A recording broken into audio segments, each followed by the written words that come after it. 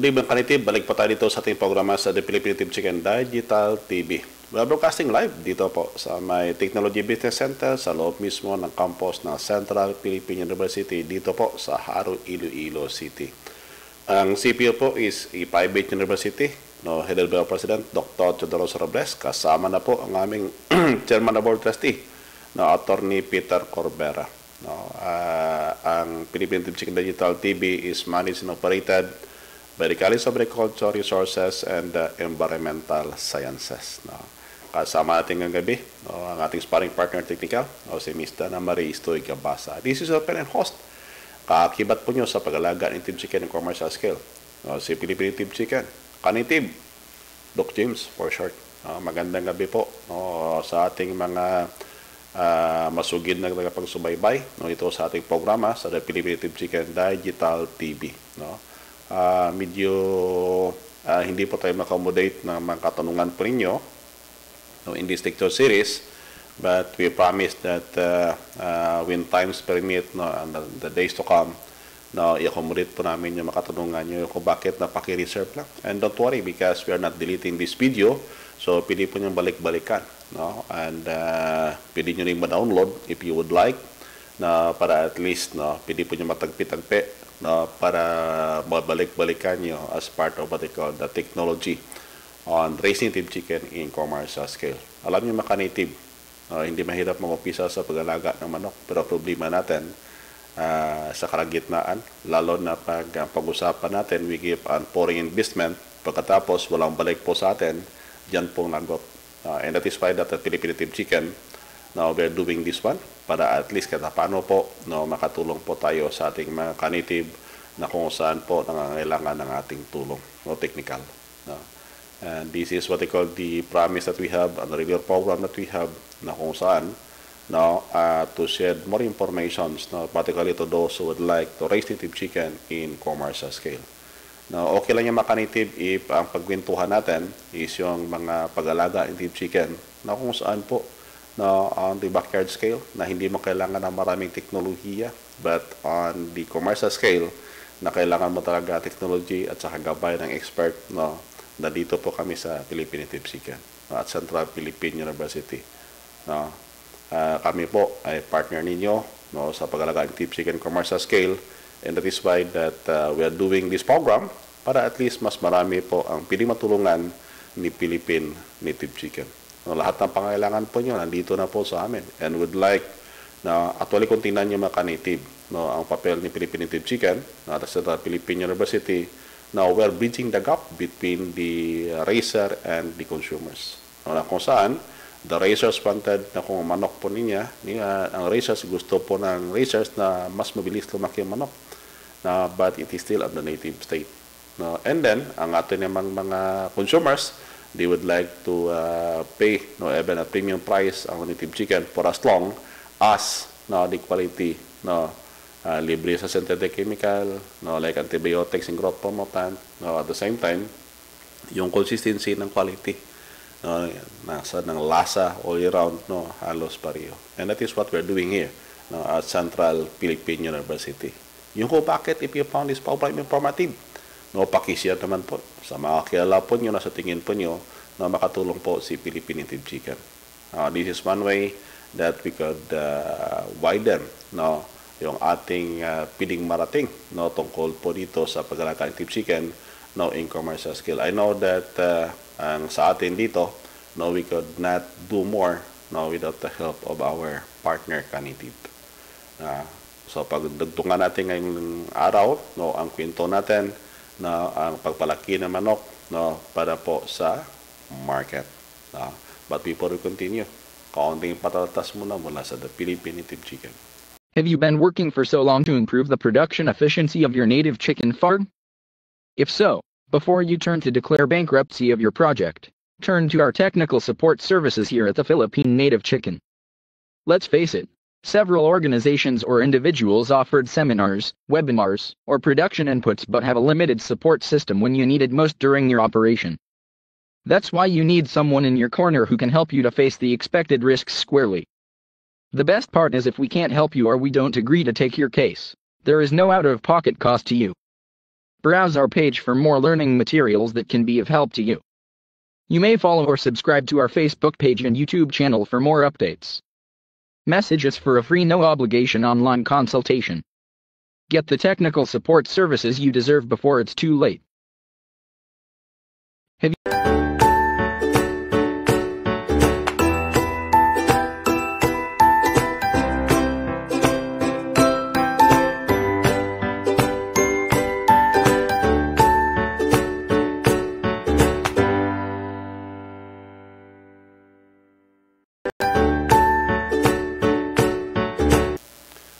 tayo dito mga kanitib no, sa ating programa sa Philippine Tip Chicken Digital TV.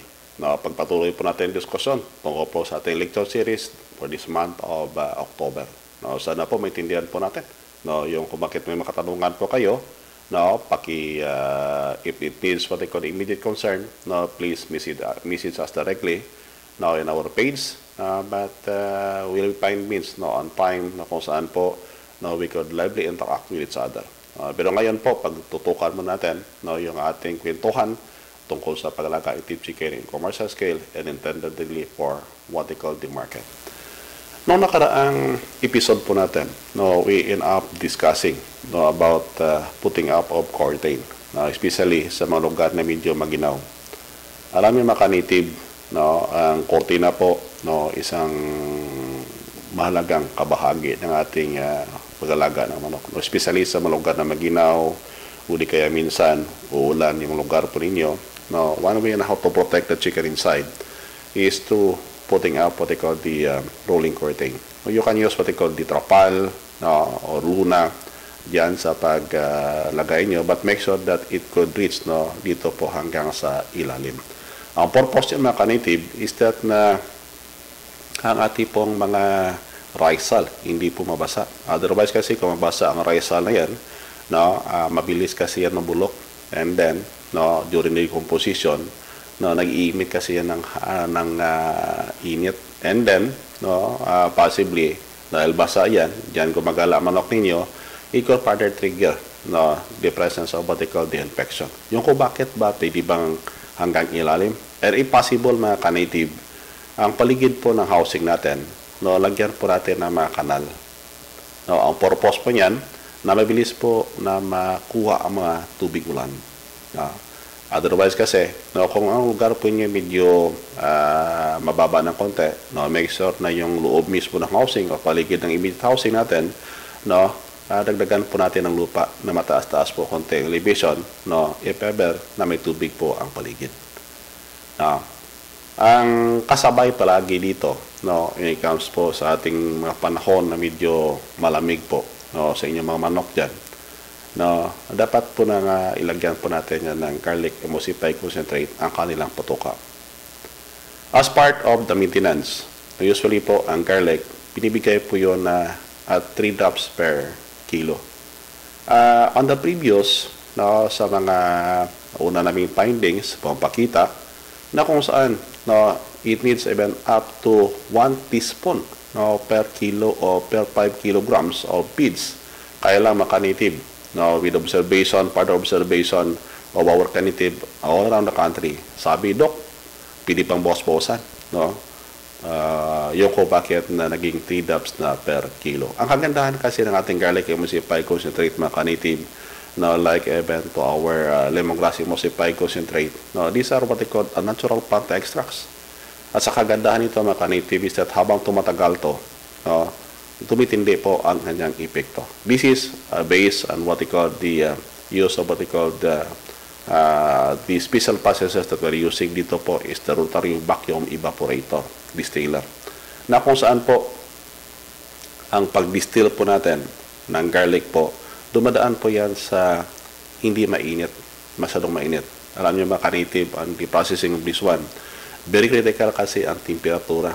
And that is why that we are not using what they call the extreme temperature. Bakit? It is because na marami po sa mga chemical component ng bawang po mawawala if uh, it will undergo too much heat. Mga native, if you found this program informative, pakishare naman yan sa iba. Sa mga kilala po ninyo na sa tingin po nyo makatulong po ang ating lecture series sa ngayong gabi. No? Pagkisabi na rin sa mga kaibigan ninyo, this is, uh, this will run for about one month no, para po ma uh, bigay po natin ang detalye on how to raise native chicken in commercial scale and intended it to grow no, for market. Alam niyo mga native even the parlous brooding that we suggest, uh, yung palagi recommendation namin, uh, kasama po dyan ang garlic as a source of the heat, natural heat. No? Yung ko bakit na sa mga kanative natin, no, na kung saan po practicing what they call the parlous brooding technique, no, ami pong sinasabi po sa inyo, pili ba ang samahan nyo ng garlic emulsified concentrate? Hindi po yun sobrang mahal.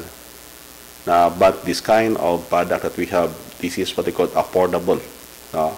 And there is always science behind it. And then, ang utilization po yung paggamit nyo is kaunti lamang po ang kailangan ninyo no, para po no, sa inyong mga alagang manok. Ibig sabihin, yung 50 ml na yan, matagal po maubos. No? And beside, no, this is what they call the broad spectrum uh, phytobiotics developed at Central Philippine University, mga ka-native. And that is why that we are sharing uh, this information and this product. Alam niyo mga ka-native, uh, even in, in our previous no, undertakings together with the uh, uh, various government agencies no, dealing on uh, uh, livelihood program, no, nakita namin na uh, yung pagpiga using the, the raw form. Uh, alam nyo, it undergoes our studies here at Central Philippine University at ang nakita po namin mga ka-native is that na ang paggawa po ng oil no, dito po sa ating produkto ay isa po ang pinaka-effective na means of processing na para makontrol po ang mga mikrobyo. Hindi lang mikrobyo, but even the internal parasite. Na piling, piling, piling po siya na kontrolin po ng ating garlic emulsified concentrate. Yan kanitib ang advantage nito. Ang kagandaan pa nito mga kanitib. Bakit? No, hindi mo na kailangan bigyan ng bawang ang manok po ninyo. It is because na ang bawang isinama na rin sa kanyang patuka. Ah, yan kanitib. And uh, further study shows that ang garlic po is rich in uh, organosulfo compound. Ibig sabihin po, mataas po ang amino acid content ng garlic. And that is why that in some of our uh, uh, patron, no, yung mabibili po dito ng ating mga produkto, sabi, no, actually, a number of them no, is buying the garlic emulsified concentrate no, para po sa kanilang mga boilers. And the finding shows that, no, ang kagandahan dyan is that na yung mga maliliit, no, natulungan po niya. No, ibig sabihin po, this is a natural form of what they call the growth promoting compound. Yan ang kagandahan po ng garlic. And that is why that uh, maramihan po sa bumili dito sa amin, sabi, no, uh, they're using it, no, uh, MWF, no, bigay sa patoka nila kung medyo mainit sa araw, no, sa gabi po nila binibigay, no, yung sa hapon na patoka, doon nila sinasabay yan. And even to our uh, breeders, ang ginagawa niyan, no, uh, kahit dalawang bisis lang sa isang linggo, no, TTH, no, nilagyan talaga nila para at least it serve as what they call the prevention and uh, even serve as the warmer puro sa ating mga breeder stocks. Na uh, yan ang kagandahan ng ating uh, pantambal dito and develop at uh, what they call the Central Philippine University mga ka-native. Now, given uh, it is always the trust of this university now to help our racers all throughout the country kung paano mapababa ang inyong production cost but at the same time producing product na kung saan po based on the requirement of the needs market. Yun palagi sabi ko is that na hindi po kami nagkukumpetensya no, sa ating mga broiler no, because the broiler by itself and other uh, species of fowl, they have their own niche market. And at the same time, pariyo po dito sa uh, ating Philippine native chicken. Now, in terms of what they call the vaccination of the hatchling, no, mga ka-native, this program no, can also be adapted even to our no, uh, game pause. No? Pili po niyo masun, ma, ma, mapalo po ang uh, mga teknolohiya namin ito na kami po naniwala na even based on the uh, uh, comment that we have actually isa sa mga almost 50% na bubili po ng produkto namin dito at CPU no, are game foul uh, racers. No, nakita kasi nila na maganda yung epekto, yung sa bruderan pa lang, no, even the feeds that we have, sabi daw, no, ang kagandaan doon sa patoka nila. No, actually, we are customizing feeds no, specific for what they call the gimpaw. Now, in vaccination program, no, alam nyo kasi mga native given the uh, disease of economic importance, marami kasi sa ating native na ayaw bakunahan yung manok niya, porke ganito, ganyan, yan. Alam niyo mga native na we are investing huge amount of money in our flock at saka kung hindi pa natin yan bakunahan, ano na kaya mangyari sa ating mga manok? Naalala ko kasi native na may mga racer kasi pumunta dito sa akin, sabi, Dok, halos na wipe up yung, na wipe out po yung aming manukan. No, sayang, sobrang dami po naman and we invested uh, a lot of money on it. Sabi ko nga is that na nabakuna ba kayo sir? Uh, sabi nila hindi pudok. Uh, uh, ang problema po natin mga kanitib na dapat bakunahan po natin ang ating stocks. And don't worry because if you're only raising chicken na intended for market, alam nyo kasi ang efficacy kasi ng isang bakuna na yan, for example, uh, hot sling. Ibig sabihin po ng hot sling po, uh, that is a synonymous word o halos magkapareho yan po sa sisiyo. No, kaya lang, no, bagong pisa kasi. No, that is what they call the, the old chicks or for some they call that as what they call the hot sling. Now, sa pagbakuna po, no, uh, you can use it, uh, uh, vaccinate yung sisiyo ninyo na mula sa paglabas mismo doon sa may uh, hatcher.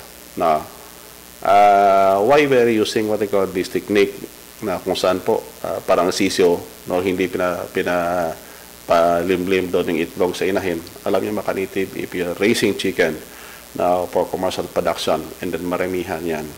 If you're going to raise it na kung saan it will only be uh, limited doon sa inahin. Hindi po natin maprograma ang ating production schedule. Pag-usapan natin yan sa mga next episode ng ating programa. Ang pabakuna po ng ating manok no, o sisiyo, no, you can have it be done. No, uh, for some, they're uh, saying it in the 3 to 5 days. But at Philippine Team Chicken, paglabas pa lang ng sisiyo doon sa may hatcher, na nilagyan niya ng bakuna, pinapatuluan po na bakuna na yan, na is yung mata mismo ng ating mga sisiyo. Either it is on the eyes or for some, no, doon mismo sa kanyang uh, nostril. Na, but yung observation namin kasi, bakit na we used to concentrate on the eyes, kasi yung palagi na naging problema namin is uh, uh, minsan, pag hindi nakapasok yan sa tamang lugar, no, lalo na pag sa ilong, no, uh, sometimes it creates another problem. Yung kung bakit na ang pagbakuna, no, dito po sa may mata. And we're using what we call the NCD B1B1. Ang NCD, it start it it stand for Newcastle disease vaccine na uh, and then it is what they call the B1B1 strain. Alam niyo mga kanitib, dalawa kasi yan. On the 21st day, you can use what they call the Lasuta. But we'll be discussing it further uh, when we reach that uh, slide. Now, alam niyo mga kanitib na uh, do not vaccine your chicks. No, for example, kung hindi pa nabakuna ng buong flock mo, every time that you will be giving vaccine sa manok po ninyo, sa sisiyo po ninyo, isabay nyo na ang buong flock ng inyong mga native chicken dyan sa inyong mga lugar.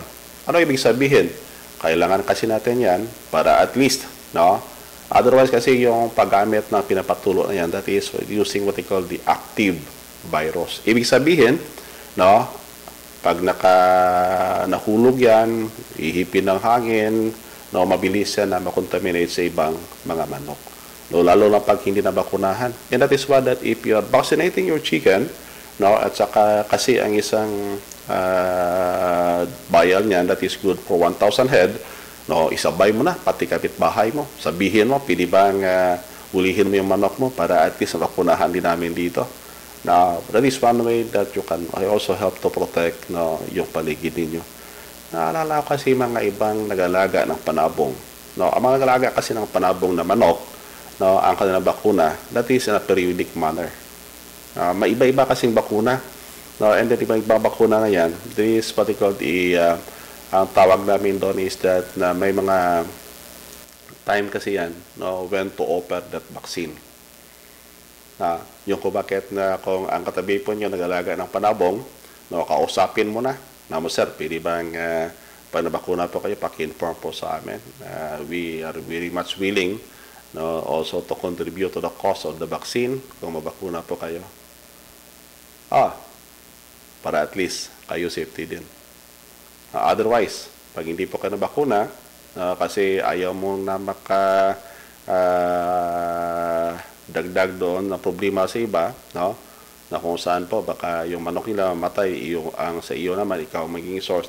Why that if you will be giving vaccine no sa mga manok po ninyo pili pang kausapin nyo makatabi ninyo before giving the vaccine no? Para at least sabay na kayo no? And then kung mabakuna po kayo no uh, it is the common practice na bakuna no will be done on the uh, do, uh, doon sa papuntang gabi but make sure na hindi po ulan Why?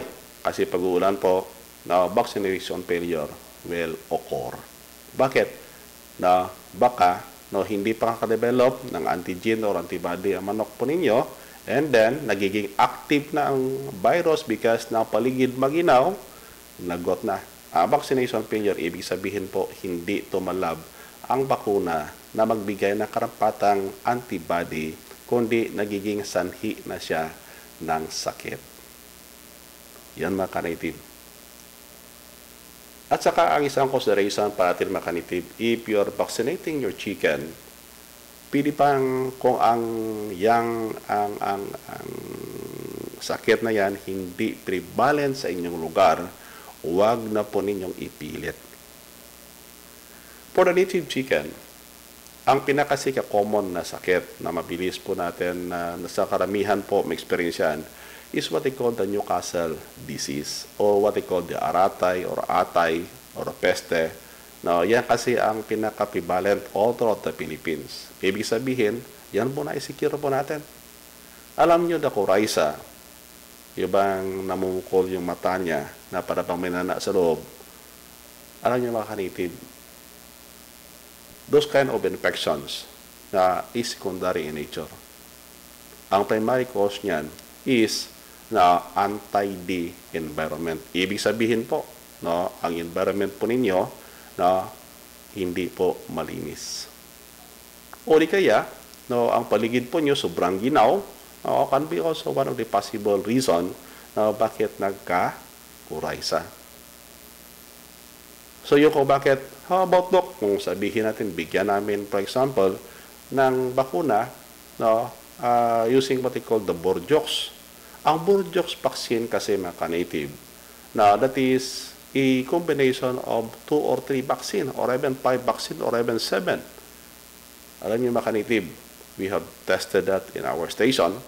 Yung kung bakit na pag walang, kung makapokus din lang kayo, no, gawin na ninyo yung para lang sa NCD.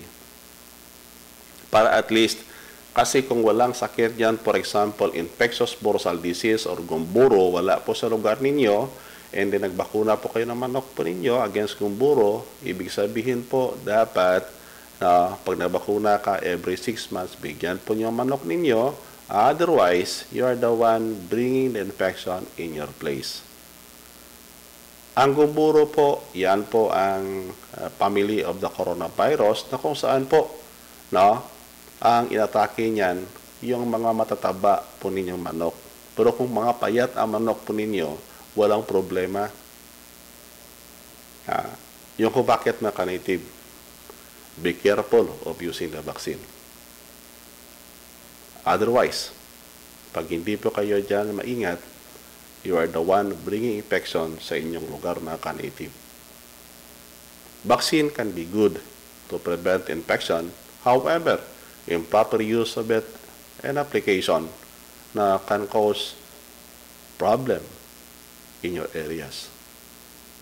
Pero mga kanitib, tandaan natin, yung manok natin pag maramihan, pwede ba bakunahan natin? Lalo na para po sa atay, peste, or aratay. But bago po tayo magpatuloy mga kanitib, no, may kaunting patatas muna tayo mula sa Philippine Native Chicken.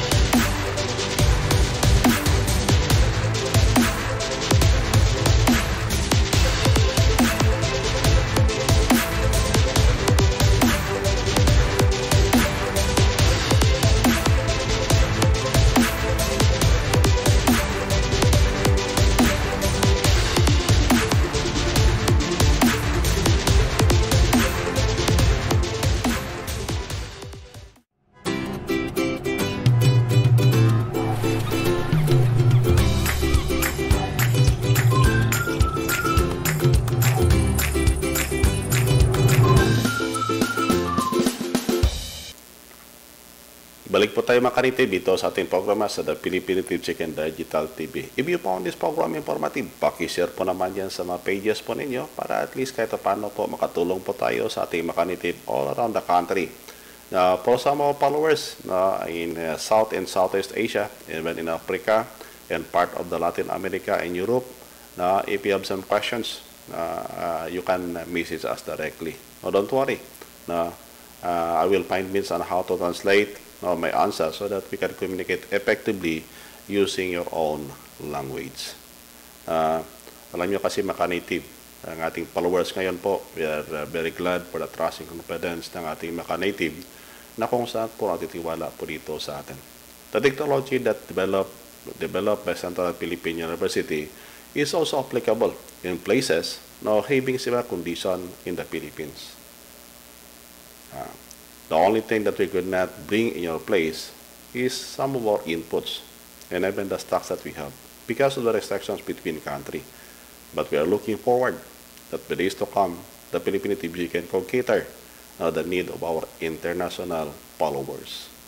But dito po sa Pilipinas, we are looking that by 2026, no, the Philippine TVG can, can serve all the our candidate to all throughout the country.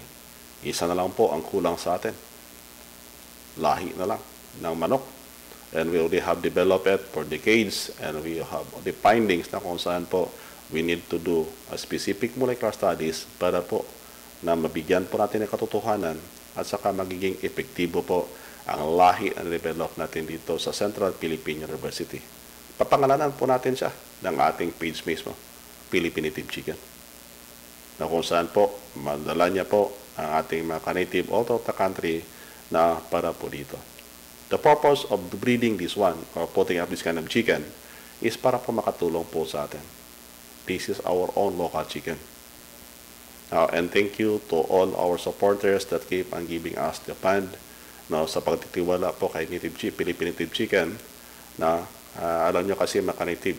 No, hindi naman kasi lahat lahat ng expenses our university can have it be soldered yung kung bakit na taos puso po kami nagpapasalamat sa ating maka-native na patuloy po sa musuporta dito sa atin. And the only way we can return the favor is by doing this live stream program on a regular basis. Whether na we have greater number or viewer number no, of uh, viewers in this kind of program that we have. But uh, thank you, thank you for the trust and confidence. Now, si Philippine Team Chicken po, buong puso paniniwala na kaya po natin to. Basta nagtulong-tulungan po tayo mga ka-native.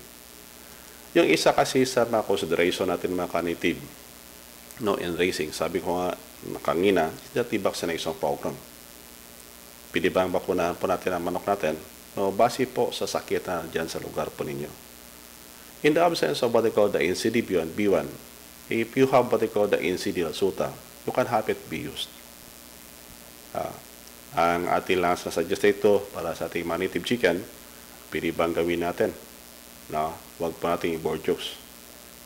Uh, ibig sabihin, i-prioritize po natin na ang para po sa ating uh, uh, NCD po. Otherwise kasi, if we keep on banking on the use of what they call the other form of uh, uh, vaccine, na kung saan po ang vaccine na yan, no, ibang sakit naman yan, and then hindi po nag-o-occur sa inyong lugar, what you are doing is you are the one spreading, spreading the infection in your place.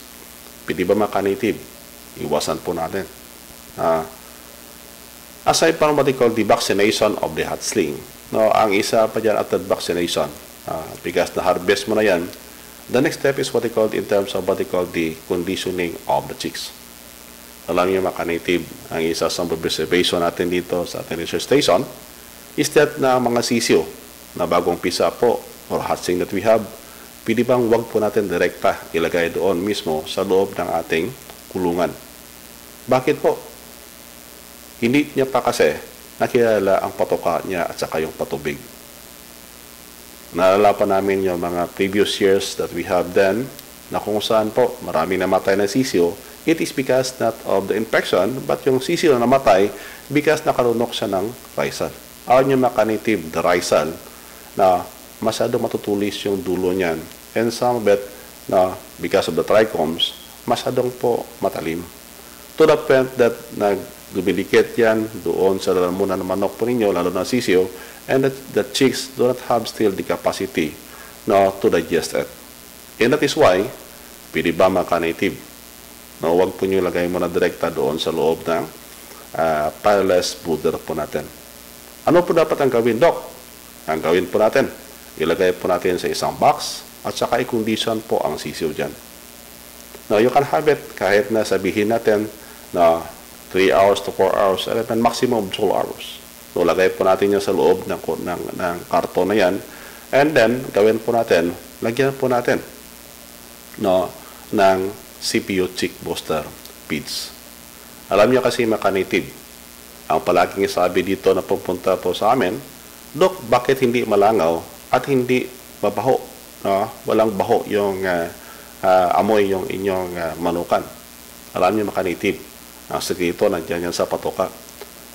And beside, ang patoka po ng primitive chicken ay mura pa rin, affordable pa rin. Yung kung bakit na sa ating maka-native na medyo malapit po sa seaport and you are very much willing no, na ipadala po namin yung patoka namin via the seaport na please contact Miss Dana. Para every time that we, we are milling here dito po kasi sa CPU, no, ang ginagawa po natin dito no, sa paggawa ng patoka, no, hindi po kami gumagawa ng patoka na ibig sabihin para sa isang buwan, isang gilingan lang, hindi po maka-native. Alam nyo kasi the quality of the feeds na mas maganda yan pag bagong gawa. Para bang kanin? Ang kanin po natin, uh, pag bagong uh, luto yan, hindi mas masarap compare naman na ginagawa nyo, pinapa uh, init nyo lang if kakain po kayo. Alam niyo mga the quality of the feeds uh, is highly associated or positively correlated uh, neg uh, negatively correlated po sa storage. Habang tumatagal po yan sa ating bodega, ang quality po bumababa. And what will happen, naalala ko kasi ang sabi ng isang racer, sabi niya, Dok, na ginamit namin ang CPU feeds. Halos yung bigat na manok namin, mabilis pumigat. Yan po mga ka-native. Yung ko bakit at if you're giving them conditioning feeds, nakalagay po natin ito sa loob. Na if you can have it be covered with the old newspaper, the better it will be. No? At saka lagay dyan sa loob ang patoka. No? Huwag po niyo lagay ng patokaan. No? That, that old newspaper, lagay niyo dito po. It will serve as what they call the patokaan. At saka sa gilid, lagyan po natin ng tubig. Ang purpose niyan is that makilala po ng ating sisiyo kung anong patoka. Otherwise, padirekta po yung lagay yan sa loob ng buder na kung saan po mayroong pong ipa or what they call the risal na sabi ko hangina, baka po malunok ng inyong mga sisiyo. Delikado yan po mga native. And that is why that pwede ba ang conditioning natin na please na gawin po natin about 4 to 12 hours, now 12 hours to the maximum, bago po natin ilagay doon mismo sa loob ng kulungan ng ating sisyo para sa parlous brooder. Yan mga kanitive ang isa po sa mga critical na bahagi na kaya nga sabi ko palagi is that na there are various means on how to do it. Kaya lang problema natin mga kanitive pag hindi po tayo guided, ang nangyari minsan, eh kung bagong, pipil, bagong palabas na ng uh, uh, inyong hatchar, saka ilagay mo direkta doon sa parlous brooder, na may posibilidad na baka magkasakit ang manok ninyo, hindi because of the infection, but it is because na of the risal na lanok po ng inyong mga alagang manok. And that is why that pwede ba? No, i-condition nyo muna. But bago po tayo magpatuloy, kaunting patatas muna mula sa Philippine Native Chicken.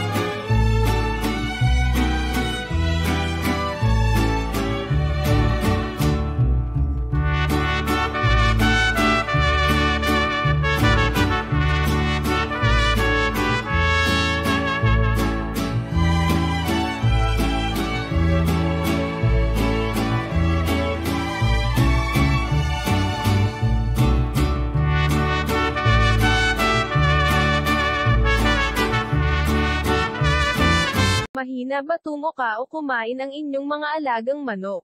Palaging nasa gilid at nahirapan maghinga. Huwag itong isa walang bahala. Baka ang inyong mga alaga ay may sabaga.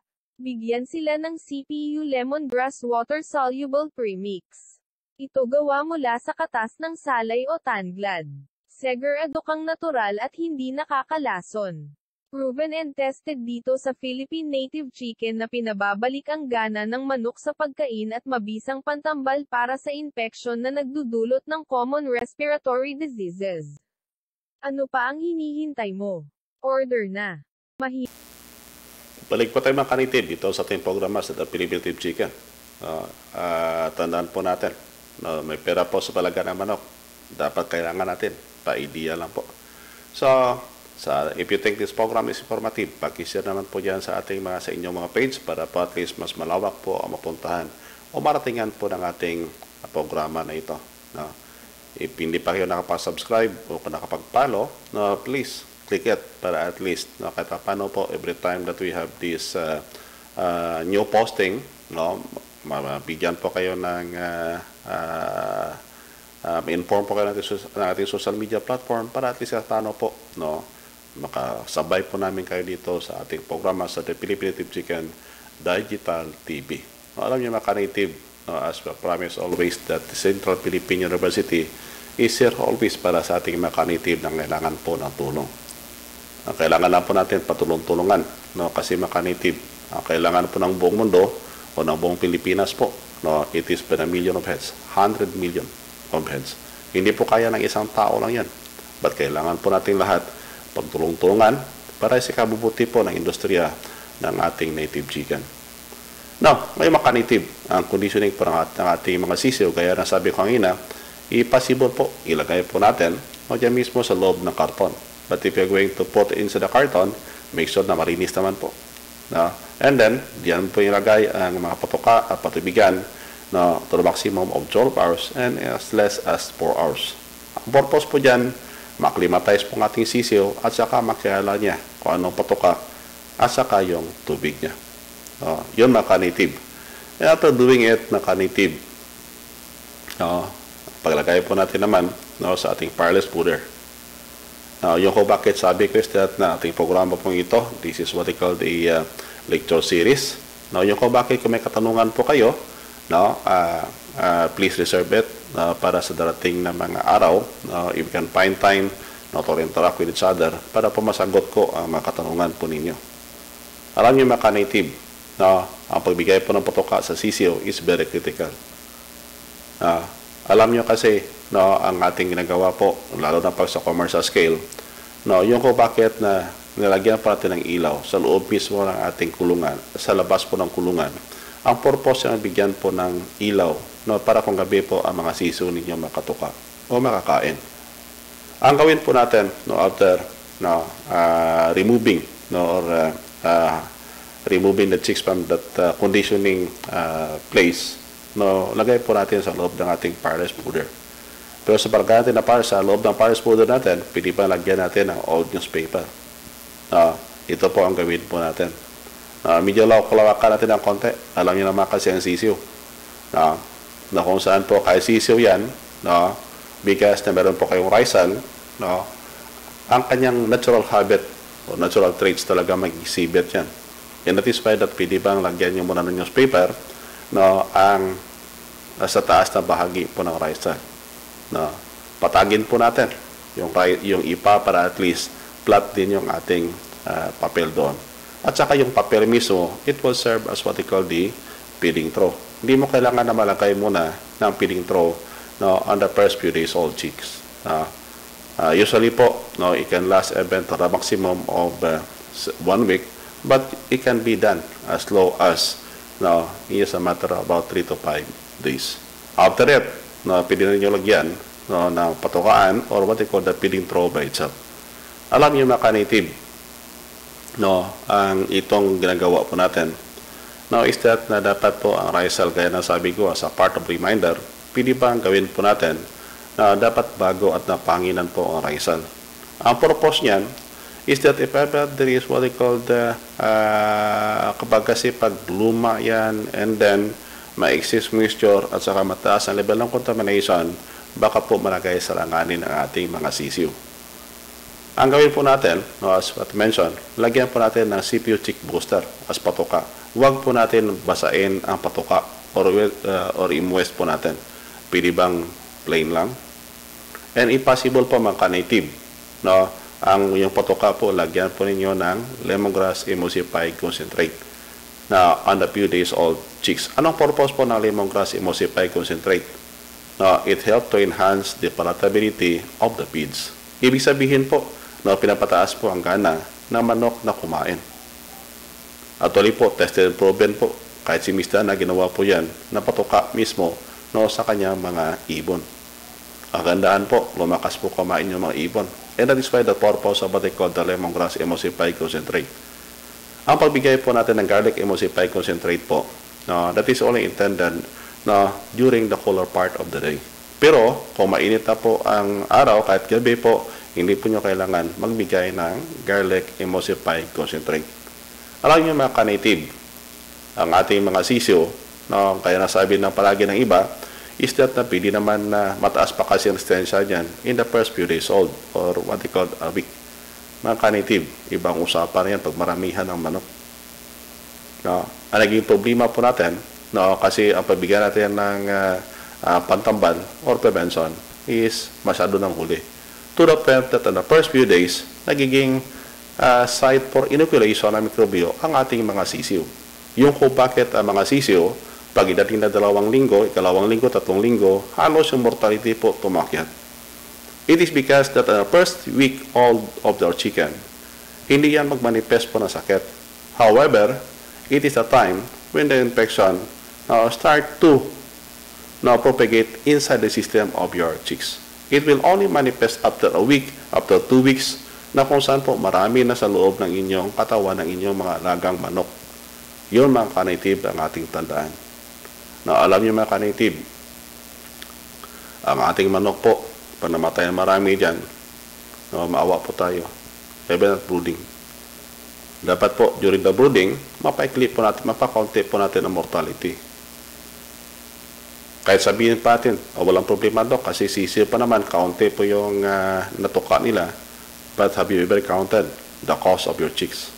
Yung kung bakit na sa amin dito po, palagi sabi ko that na for every chicken o for every chicks na namatay po, no, malaking losses na yan and a part of the station. Actually, kung tingnan po natin mga ka-native, no, in some competences ng ating mga native all over the country, halos mataas pa yung mortality nila. Yung kung bakit sabi ko is that na dito po sa CPU, we develop various technology na kung saan po makatulong sa atin. Pwede ba mga ka-native na ito po ating gawin? Once you transfer it from the conditioning box papunta po dito, lagyan po natin newspaper, but make sure that newspaper po malinis at gawin po natin feeding throw yan. Pati yung tubigan po, ilagay na natin sa itaas po ng newspaper. Yeah. Everyday po, alisin po natin yan at saka palitan po ng bago at 2 to 3 to 5 days or even up to 1 week. But yung 1 week po, uh, sobrang tagal na yan mga ka-native. Now, after 5 days, na ang gawin po natin, gawa po tayo ng platform. Ang platform na yan mga ka-native, doon natin lagay ang what they call the uh, patokaan po natin at saka yung patubigan natin. Ang purpose kasi niyan, pag ang itong sisiyo kasi habang tumatagal yan, lumalaki din yan, the scratching ability po tumataas na rin. Sa punto, napaka pati yung ating mga patubigan at saka mga patukaan po natin, no, baka po makontaminate ang puno po ng risal o ipa. And that is why that piniba lagay natin sa platform. Uh, yung platform po natin, gusto rin naman kasi nalagyan po natin yan ng platform na halos no, made of wood. Now, makikita po nyo dito sa ating platform, it is made of what they call the welded wire. Yun mga ka-native ang isa sa consideration natin na as we go on. Kaya lang mga ka-native ang ating panahon. Medyo limitado na ka-native. Yung ko bakit, ipipanis po ang informative. Pakishare naman yun sa page po ninyo. As what we have promised mga ka-native, we'll be continuing doing this lecture series now for the month of October para at least you will be guided. This is what they call the uh, mature technology developed at Central Philippine University na kung saan po pili na po ninyo magamit yan sa respective areas po ninyo. Halos completed na po and tested dito po sa aming station. Yung po bakit na ginagawa po namin ito, ang programang ito, ang lecture series na ito, it is because marami po sa ating makanitive kita na asking me, Dok, ano ba pwedeng gawin? And that is why that we are sharing this information, yung kung bakit na uh, pag hindi pa kayo nakapag-follow, no, o nakasubscribe sa ating page, no, please have it be done. Para every time that we have this new posting, no, matutify po kayo ng ating social media platform. Ang ating programa po, regular program, no, this is uh, come every Wednesday and Friday, 7 to 8 uh, p.m. po. Now, this is one way that the Philippine Native Chicken can be of help no, sa ating mechanitive all throughout the country. Alam niyo mechanitive, ang pinakamahirap na gawin po is that na once we started the project, na and then nasa kagitnaan ka, wala kang pinipuntahan para mapatanungan kung ano dapat po ang gawin natin. And that is why at Central Philippine University, our commitment nandito palagi. Kami po naniniwala na kung saan po 60 to 70 percent of our population is depend directly or indirectly dependent on agriculture. Ibig sabihin po, kata industriya ng native chicken, matulungan po natin na ma-commercialize.